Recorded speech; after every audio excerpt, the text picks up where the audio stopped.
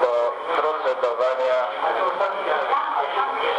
Przystępujemy do procedowania uchwał przygotowanych przez Zarząd Dzielnicy. Mam czytać czy...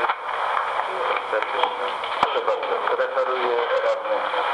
W punkcie 3.1.1 jest uchwała w sprawie projektu Wiktora Danowskiego przy ulicy Dobrej w Krakowie. Paragraf pierwszy. Opiniuje się pozytywnie w projektowanym ogródku jordanowskim przy ulicy Dobrej strefy seniora, to jest doprowadzenie strefy seniora, urządzenia rekreacyjne i siłowe oraz zmianę urządzeń na wersję jakościowo porównywaną, ale o niższych cenach na terenie. Oraz w punkcie drugim wniosku się o uwzględnienie w projekcie w strefie seniora ogródka jordanowskiego alternatywnej nawierzchni dla mniejszych nawierzchni utwardzeń na przykład się z dniem podjęcia. Dziękuję.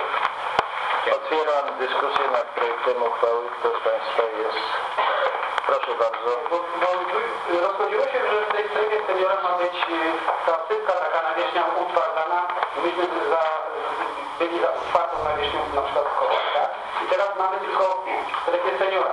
Czy, czy, czy w pozostałej strefie będzie, będzie ta nawierzchnia taka, y, no, ja bym to wykreślił poproszę w strefie seniora, wtedy by było uwzględnienie w projekcie ogródka jedenackiego alternatywnej do nawierzchni dla ciągów pieszych, nawierzchnia utwardzona.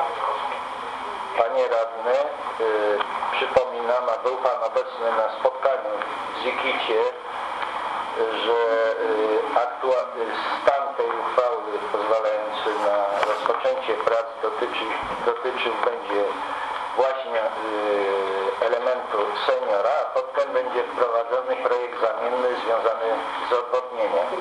Więc nie było powodu, żeby rozciągać to na całość, skoro...